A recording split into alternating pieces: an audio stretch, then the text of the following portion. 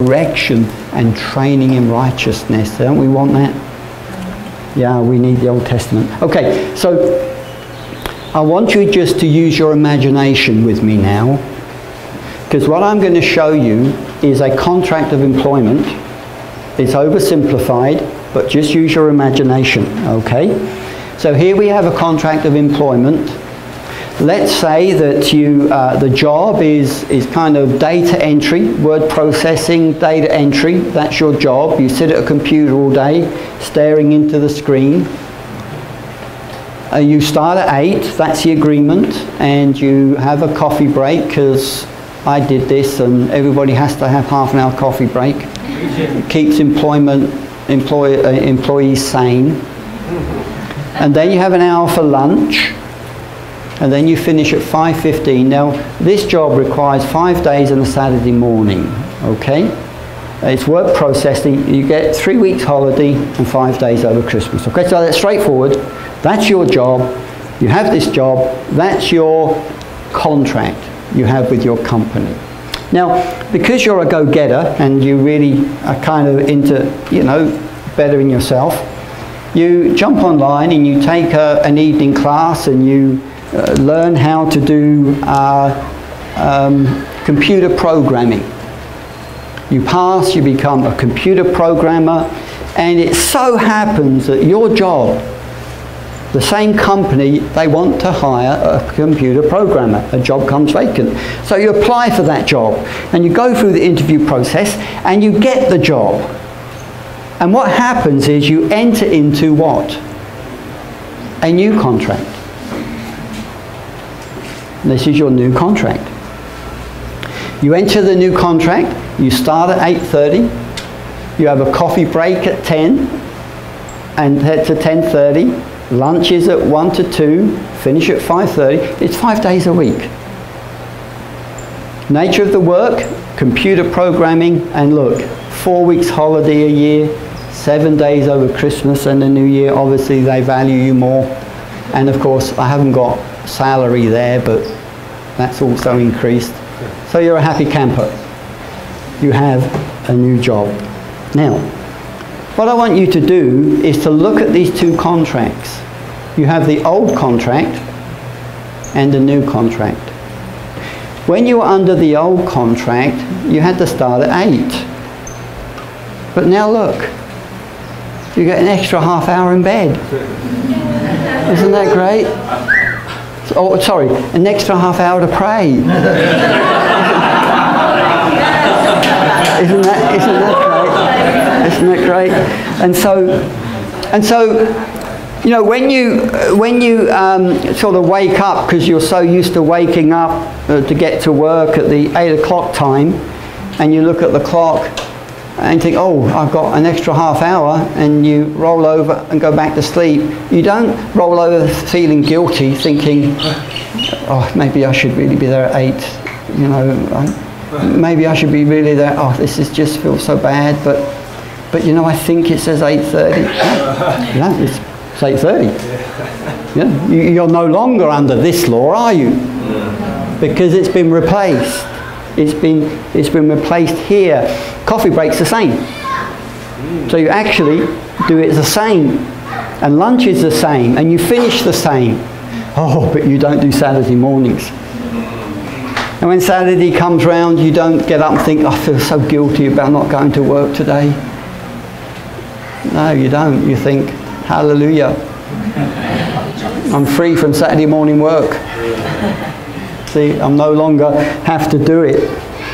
Now, I want this just to be, uh, I'm sure you can see where this is going. I want you to see this as, as a, a bit like the old covenant, the agreement, uh, but the new covenant, that new covenant that Jesus inaugurated in the upper room with 12 disciples representing Israel. He entered into a new covenant with them. And uh, when we uh, look at our position, we need to remember that the Old Testament law is a covenant made with ancient Israel. You need to get hold of this. That when God made the covenant at Sinai, he didn't make it with you.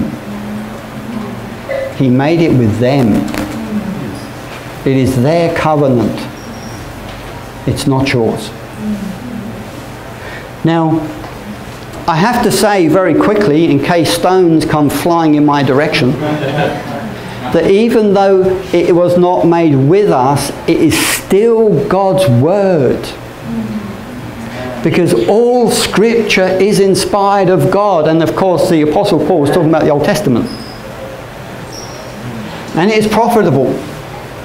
But get first, it, is, it, it was not made with us. It was made with them. And this distinction is helpful when it comes to us figuring out how we handle it. It's not our covenant, it's their covenant. But our covenant is the new covenant.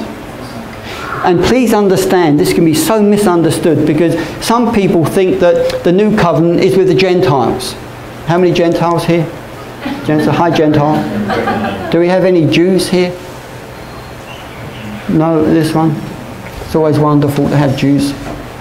You know, you have to read this. If you don't believe me, just read it. Jeremiah 31 31. God wasn't speaking to Gentiles, he was speaking to Israel. And he said, The days are coming, says the Lord, when I'm going to make a new covenant with the house of Judah and the house of Israel. Not like the old covenant that you broke. It's going to be a new covenant. And Jesus made that covenant uh, uh, with the 12 disciples in the upper room when he said, This is my broken body and this is the cup of the covenant. And when the day of Pentecost came, who did it, the Holy Spirit fall on? It was Jews. We, we tend to think it was international because it says they were from all the nations. Uh, but it was Jews from every nation under heaven. They had all come from the diaspora. And they were there and the Holy Spirit fell upon them. And the church was a, the church is Jewish. And it grew as a Jewish entity. And for Gentiles to get in it took God a massive well of course God can do what he wants you know but, but just Acts 10 with Cornelius and, and Peter and that whole incident it was like it's like God had to say to Peter Peter Hello, I'm trying to say something to you. And he walked into the home of Cornelius and he kind of walked in and he says, Now, he says, you do need to know that I'm a Jew and it's not lawful for me to come into your house because I'm a Jew. I mean, you're a Gentile. But God's told me not to call you unclean. So I guess here I am. and what happened was a new phase opened and the, the, apostles realized that the gospel the message of Jesus the Messiah was for all the nations. And that had always been on the heart of God. That was what Abraham was all about. All the nations of the earth will be blessed through you. And it went to all the nations. And so we Gentiles, we have got in on the Jewish new covenant. What an honour. What a privilege. But we're part of the new covenant. That's a point I want you to get. We're going to stop in a few moments. The covenant was not for Jews only, but also for Gentiles. We participate in the new covenant that God made with the house of Judah and the house of Israel. And I've got almost the whole New Testament says this. Every book almost talks about this. And so we come, how do we apply Old Testament law material as New Covenant people. And you're going to have to wait for that because we're going to have a break. Um, so let's take 15 minutes. Um, before we break, if there's anyone that hasn't paid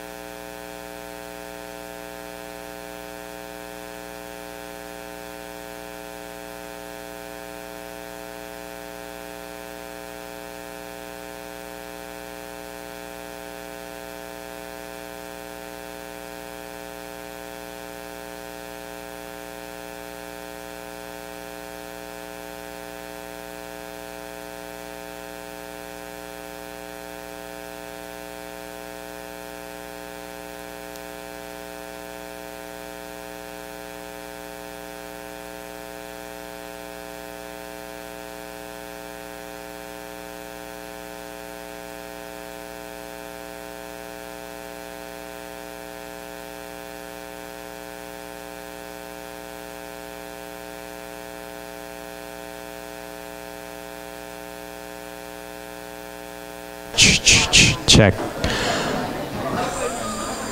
Okay, if you guys want to finish grabbing coffee or a muffin, Mark, it's always good to see you. Thank you. Yeah? Looking good, as usual. Um, well, we have a, a quick announcement before we get started. Um, I think I need Arnstein to help me with this announcement really quick. So, Arnstein, would you mind just coming up here real quick and just being here with me? I just I feel more comfortable if you were standing next to me for this next announcement. um, it's actually Arnstein's birthday today, so we need to. Yes, so come on, come on up here. Yes, there he is. Um, so we are going to um, bless him by singing happy birthday to him. Oh, we have a lei. All right. Yes. Oh, wow. What is this a little ring, a bracelet? This is. Wow, okay. This is how we. Ready? Happy birthday to you. Happy birthday to you. Happy birthday, dear Arnstein. Happy birthday to you. Yes, if you, got, if you guys just want to extend your hand, let's just pray for him today. Father, we thank you so much for Arnstein and, and calling him to be a part of this community for the season, Lord. I pray that you would just bless him in this year to come, Father. Lord, that it would be a year marked by your presence. It would be marked by intimacy with you. It would be marked by um, greater revelation of your word. We just thank you for him, God, and all that he brings to this community, all that he brings to this school, Father. Would you bless him today in Jesus' name? Amen. Amen. Happy birthday. All right. Phil.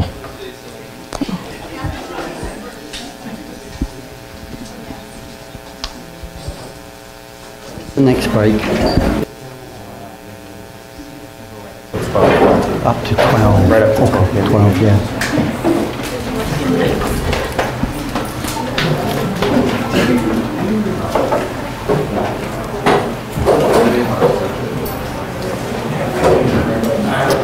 I was just asking about breaks. I know breaks are important because I know that if you're expecting a break and I don't give you one, then you'll break anyway.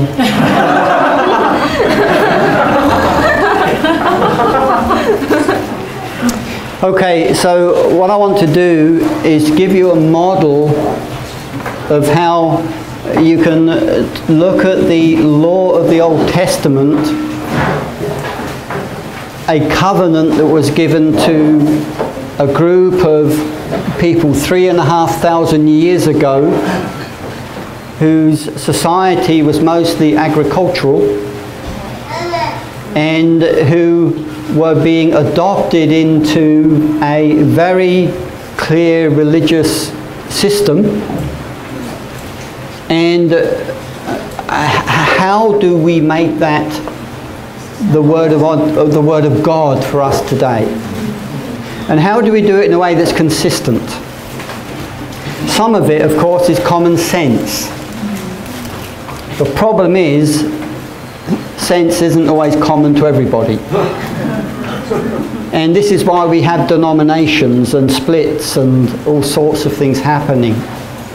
Uh, because people take something that they think is really foundational and, and they break away and you, you know the story and it's a sad one. And so this is what I'm attempting to do and uh, I trust it will be something that is helpful for you. Uh, very, very simply, as you read through and as you come to application, it is important that we understand what actually is going on. And the best way to describe this is uh, you go into a time machine. You need a big imagination.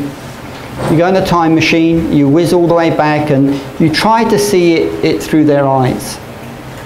And we will look at this together and, and take some examples of this. But um, because you see, once we understand how it worked for ancient Israel, that then actually gives us a platform to understand it and ask the question, okay, what does that mean uh, for me today? So we'll look at that in a few moments. Um, uh, just again remembering 2 Timothy 3.16, uh, one of the, the first questions we ask, going back to the, the two contracts, the first question we ask, is this law restated in the new covenant? If it's restated in the new covenant, then it applies today to us just as much as it did to them. So it's very simple, isn't it? We're people of the new covenant. This was the old covenant. The old covenant we read in Hebrews is no longer in existence. But God's word is it's still God's word. And therefore, when we see something in the new, and, and sorry, in the old, and it's restated in the new, uh, then we know it still has something to say to us directly. So that's very simple. And that's the first thing I want to say. Uh, but, um, okay, so you've got what I've called here the moral laws. Uh, what about the food laws? Well, uh, when we think of uh, uh, some of the Ten Commandments, you shall not kill. No, you don't need a concordance to find out if that's in the New Testament, do you? You, you, you, shall, you shall not commit adultery.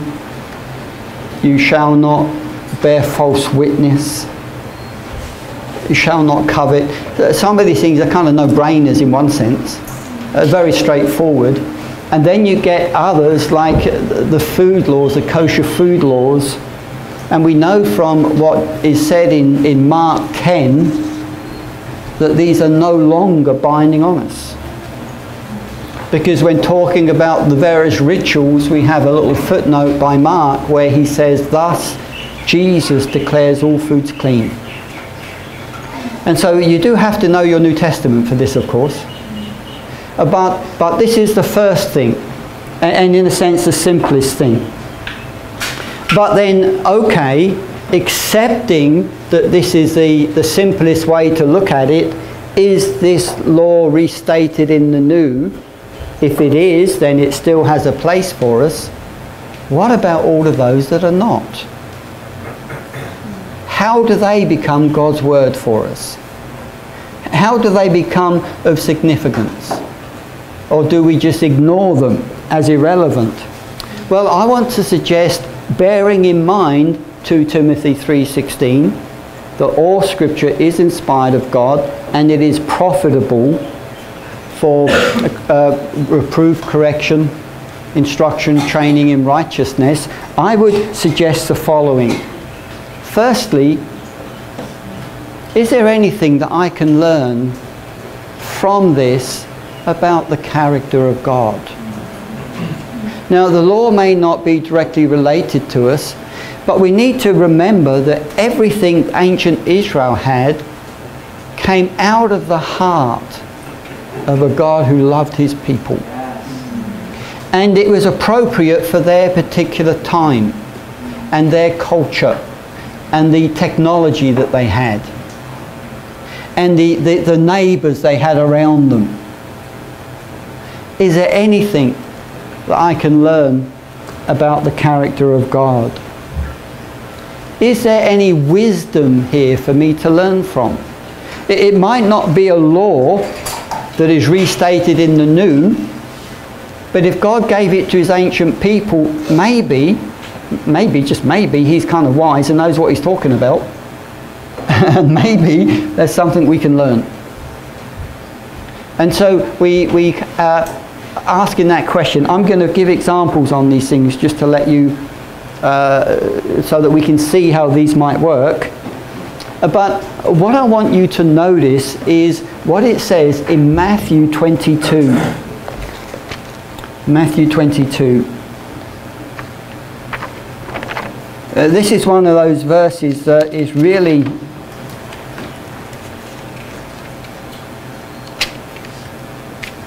uh, really helpful in this regard. Matthew 22 verse 34. Uh, This is when they asked Jesus what is the greatest commandment. And I'm sure you know this passage very well. One of them, Eli, asked him to test him, Teacher, uh, what, uh, which commandment of the law is greatest? And he says, You shall love the Lord your God with all your heart, with all your soul, and with all your mind. This is the first and the greatest commandment. The second is like it. You shall love your neighbour as yourself. Now, I want you to notice what he says next. On these two commandments hang all of the law and the prophets. Every law, every law is basically connected to these two loving God or loving your neighbour. And so I want to give you a, a uh, uh, just a little model here. It's a kind of a triangle. And at the top where it's the closest together, you have the two laws, loving God and loving your neighbour. And uh, so that sums up all of the, uh, apparently, I haven't counted them, there's 623 separate laws in the Torah. And so uh, they're all there. 613 when you take the Ten Commandments from that.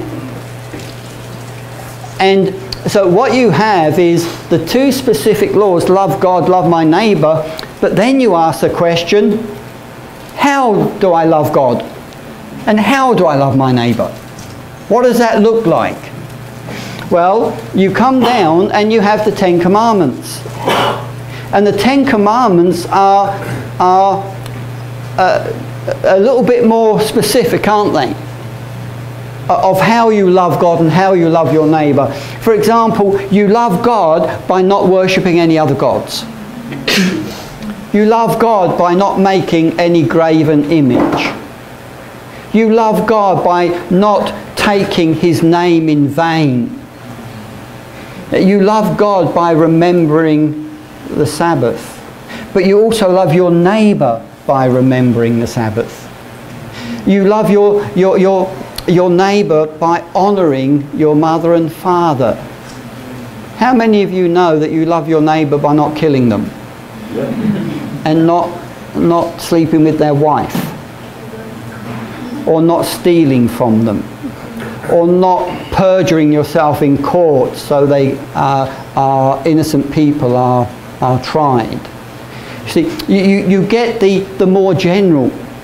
But then you come down and you get all of these other laws, and every law that you read about here is actually an application of the Ten Commandments in, speci- in a specific situation. You know, there's something you need to know about ancient law. Ancient law differs from our modern law in that in modern law, you end up having a stipulation about every single possibility, don't you? You know, law books are this thick. And I know that there, there, there's case law and, and that kind of thing, but so often someone can be absolutely guilty, but they can get off on a technicality. But in ancient Israel, that, that isn't how law worked. In ancient Israel, what God said is that you should so get to know my law that you, it, you, you write it on your heart. In other words, you internalize it. And those responsible for the law would so know the law that if they were going to court, they didn't need to have Deuteronomy under their arm to refer to because it had been internalized. And, and it was out of what was internalized they would then be able to try different cases and, and come to different decisions. And a lot of what you get here are examples, situations that you read about. And what they're doing are giving examples of, of the Ten Commandments, the applications of the Ten Commandments. uh, which then come uh, up to loving God and loving your neighbour. And so uh, let's, let's just explore this a little bit. Um, let's just jump ahead a little bit to uh, Deuteronomy, then I'm going to jump back into Leviticus because that's where we are this morning. Let's go to Leviticus, uh, Deuteronomy 22.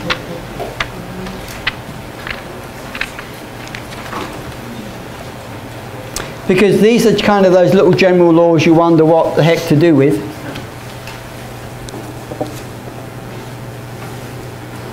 Deuteronomy 22 verse 1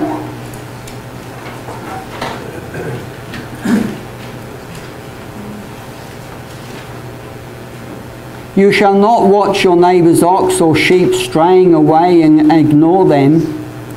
You shall take them back to your owner.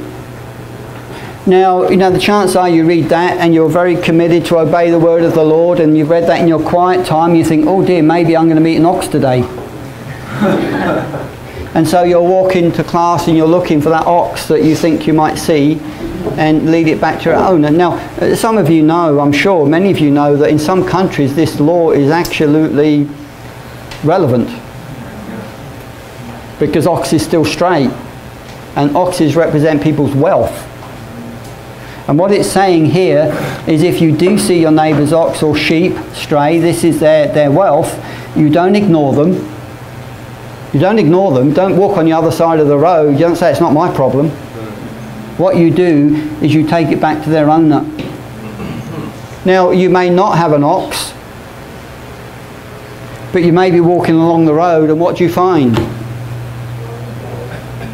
Think, wow, Wow, look, wow, look at this. I was praying for four thousand pounds and I have found it.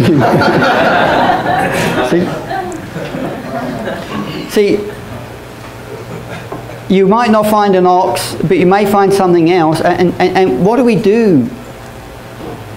Well, the whole point is if you find your ox, one of these laws, straying down the road, you don't steal that ox, but you love your neighbour by getting it back to them. So it may not be an ox, but it may be something else. Because you see, in these verses, God is, is, is trying to get them to understand the kind of society He wants Israel to be. The kind of society is where there's people there supporting, helping, looking out for one another. I want to be in that kind of society, don't you? Yeah. Now, if the owner does not reside near you and, and you do not know who the owner is, you shall bring it to your own house. And it shall remain with you until your owner claims it. Then you should turn it to him. That is a lot of hassle. Yeah. You have to take that jolly ox to your home and you have to feed it and clean up its poo and do everything. I don't want this ox yeah, it's true. But you see, what you're doing is you're actually showing kindness to your neighbour because that ox belongs to someone and very surely he will come looking for it because he can't plough his field without it. Now, see, the alternative is you take it home and you butcher it and you have steaks for the next few weeks. No one knows. But what this is saying, so, so we may not be having oxes. This is not part of my world. But if I was walking down the street in, in the country I come from and I found a wallet with a few hundred pounds in it, then I would know exactly what I needed to do. I would go to the police station. And I would think, oh, parking is a zoo. It's such a, is, I'm not, I'm too busy to do this.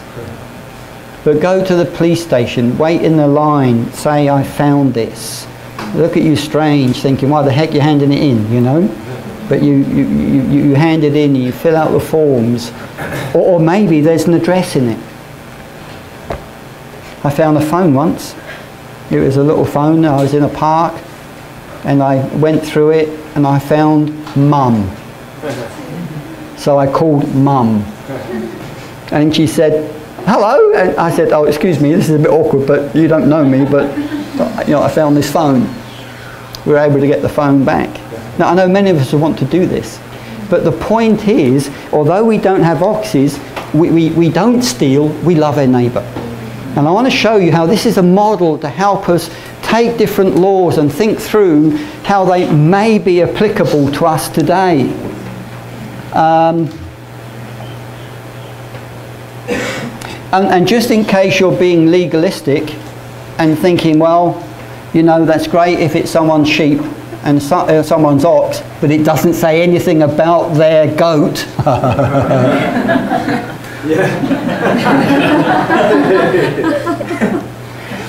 you shall do the same with your neighbour's donkey, and you should do the same with your neighbour's garment, and you should do the same with everything else that is your neighbour's. You shall not withhold your help. You shall not see your neighbour's donkey or ox fallen on the road and ignore it. You shall lift it up. Now, maybe you've seen these pictures where you get donkeys and they load them up. Have you seen these things? Maybe you've been in some of these countries. These poor beasts of burden, huge, huge amounts of stuff they're carrying on their back. And, and what can happen is they're walking and they stumble and they literally topple over. And the only way to help them is to un unload everything, get them upright, and load it all up again. And what they're saying is if you see your neighbour in that situation, what you do is you pretend you haven't seen and keep walking.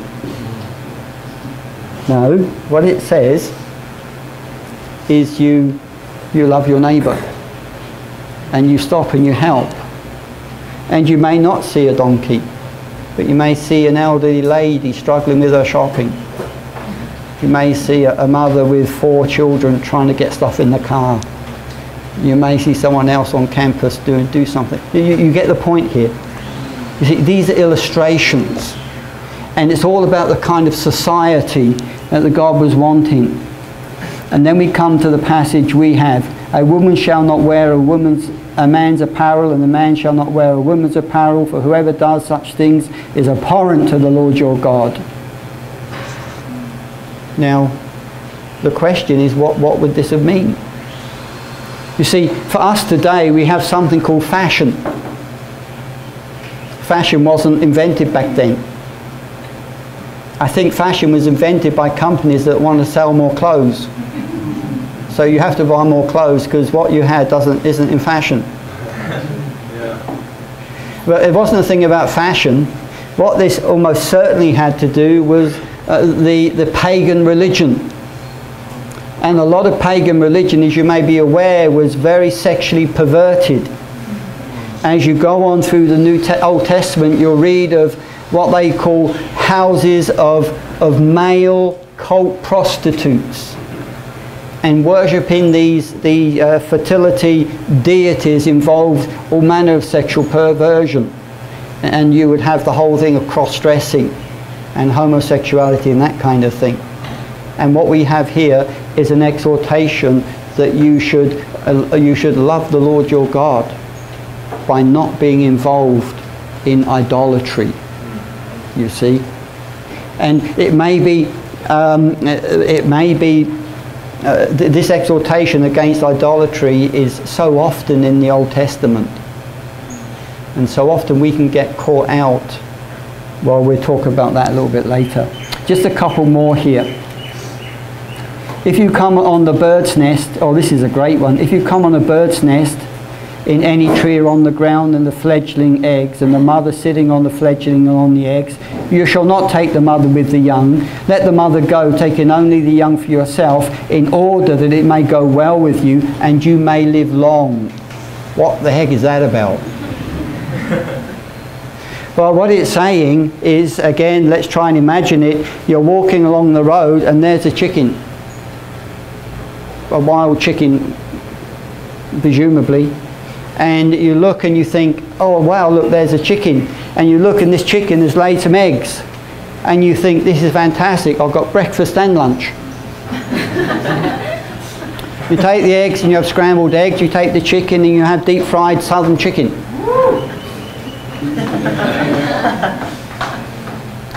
The only problem with that is there's never going to be any more eggs. Because you took the chicken and the eggs. And what this is saying simply is that when you come along and you see that kind of thing, take the eggs but leave the chicken. If you leave the chicken, there'll be more eggs, and those eggs will be for your, your neighbour. But if you're selfish and take them both, then that's the end. One of these laws is a way of, possibly a, a way of not stealing, but particularly loving your neighbour. You love your neighbour. And although we don't want to stretch this too far, today we're wrestling with things like uh, sustainability. We're talking about resources, using up resources, and if you use up resources, there's nothing left for the next generation. And, and so you get the, at least in microcosm form, this kind of attitude where you're considerate about your neighbour in the way you use what you come across. We just do one more. When you build a new house, you shall make a parapet from your roof, otherwise, you might have blood guilt on your house if anyone should fall from it. Now, very simply, in the uh, time in many parts of the world today, and then the, your roof was a living space. I'm sure you've seen pictures of those uh, stairs up the side of the house and there will be a place in the evening, a nice place to sit. Uh, in, in many places of the world it's still like that today, isn't it? And what it's saying very simply is when you build your house and you want to live on the roof, you build a fence around it. And, and I want you to listen to what it says very carefully because it says if there is an accident, if you don't do that and there's an accident and someone falls off the roof, it is your responsibility you are liable. Because you see, that is your area. And, and what, what God is saying, if you're going to love your neighbor, you don't want to kill them. And this is a way you can protect them by making a simple fence so when the kids play up there, they don't fall off. But if they do fall off, you're liable. And today, of course, the whole area of health and safety is a big part of many countries and it is a very small part of others. I remember being so challenged by this. The King's Lodge that we're at is, uh, it was built in 1870 and so it's uh, quite an old building, got a lot of style, a lot of character. But we've had to do a lot of work to bring it all up to scratch with the, the modern uh, responsibilities and codes.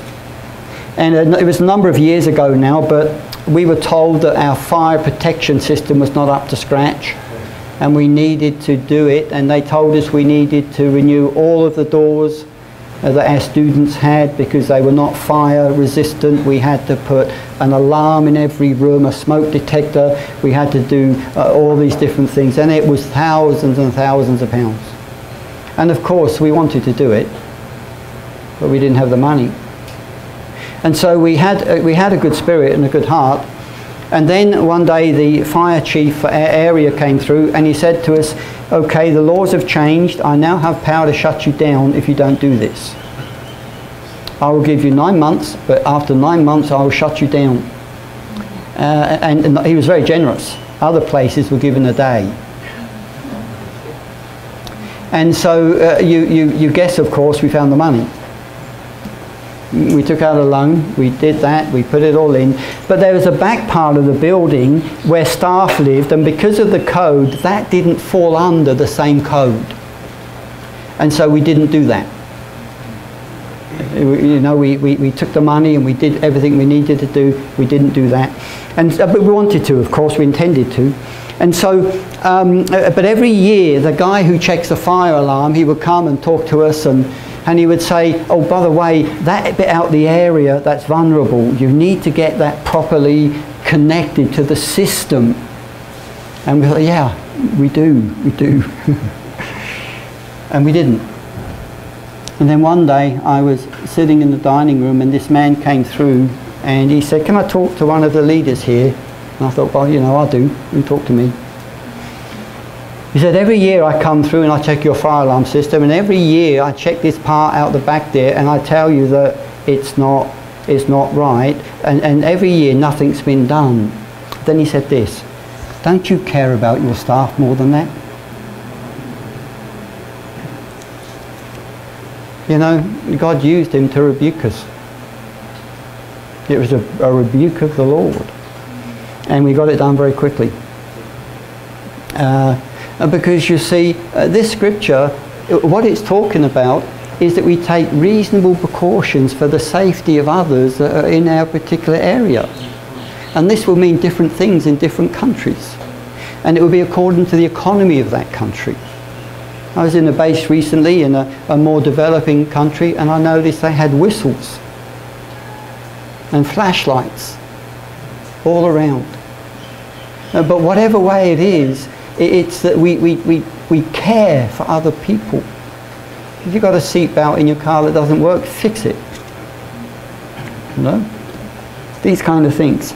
Okay, so you can see, I, I hope you can see how we, we have what may see a random law, but when we understand what it's saying, it, you can connect it to uh, one of these here. But all of them are connected there. So what I want to do now is, because Deuteronomy is what we're looking at, would you turn to Deuteronomy chapter 19? Uh, this is such a fascinating chapter because it's a, a list of uh, people talk about holiness and what I love about this chapter is the repetition where it's, I am the Lord. I am the Lord.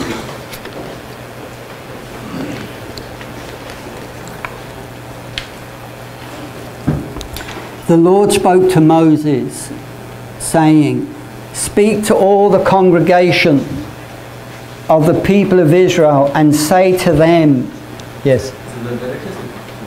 So what did I say? Oh, I am so sorry. Thank you. It's Leviticus 19, okay?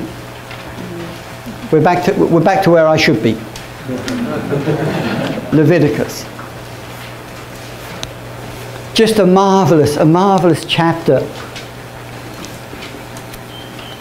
Because it's in the portion about how we live or how Israel should live. as his people that have been set apart. Actually,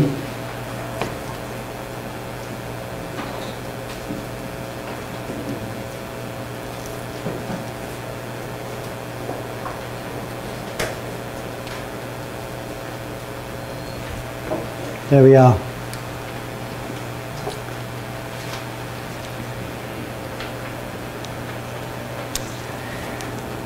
the Lord spoke to Moses saying, Speak to all of the congregation of the people of Israel and say to them, You shall be holy. For reason, I, the Lord your God, am holy. One of the repeated uh, phrases through this is, I am the Lord. I am the Lord your God. I am the Lord your God. I am the Lord. And the whole point here is the reason you should act this way is because you're my people. You will be different because I am different. You will be distinct. In other words, you will not be like the people around because I'm not, not like their gods. and because I'm different, distinct, separate. You too are my people. You will be like me. God was wanting Israel to reflect him, to reflect himself. I want to say just uh, one or two more things about laws as you're going to be reading so many of them. Firstly, in this chapter, I want you to notice there's no secular sacred divide. It speaks about temple, it speaks about the poor and needy. It speaks about justice, it speaks about idolatry. It is, it, it, there wasn't a concept in Israel of a secular sacred. Oh, this is, this is to do uh, with spiritual stuff. This isn't. When you read Leviticus, it is all, all, all sacred. And these laws are too. Another thing, um, just to help you understand ancient law, uh, that, and I've mentioned this already, and that is God didn't give Israel a law about every possible situation, but they were examples. And the judges, as I've said, would internalize them, and uh, out of that, he would make judgments as necessary as a representative of God to the people. Another thing, too, and this is really a big one the laws are not necessarily God's highest, but they're there because there's a fallen people.